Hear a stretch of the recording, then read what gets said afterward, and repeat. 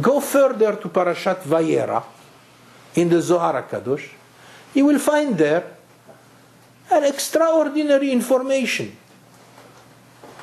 There will be two big buildings from in the land of Edom, which today we relate the word Edom to America. And those are the biggest, the, the tallest buildings in the world. And they will be totally, they will be brought down completely.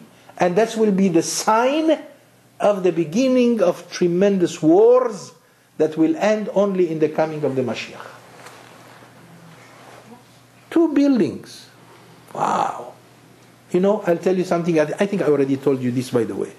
That the two, uh, one week before, uh, the how do you call that? The, the World War, uh, Center, World Trade Center. World, World Trade Center.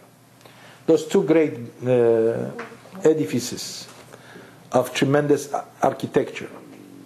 They were destroyed. I mean, to, in such a way that nobody still understands what happened. How come they were brought down in such a massive way?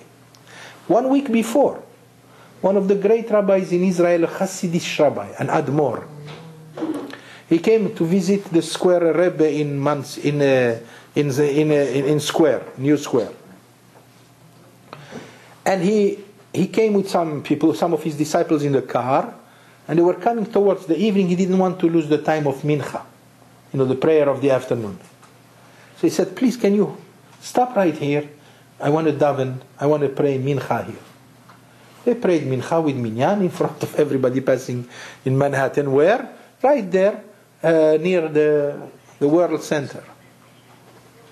After he finished the davening, the prayer, he said, say bye-bye to those buildings because you are not going to see them no more. I mean, it's unbelievable.